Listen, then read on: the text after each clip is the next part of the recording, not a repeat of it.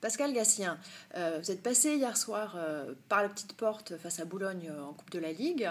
Est-ce que comment vous expliquez ce, match un peu en demi-teinte? Pas un trou de souris, on dira. Les, c'est un match de coupe qui qui automatiquement est serré. On a vu les autres résultats. Donc on a fait une bonne première mi-temps, une deuxième mi-temps beaucoup plus fade, je dirais. Et donc ça s'est fini, j'allais dire logiquement, au penalty. Bien.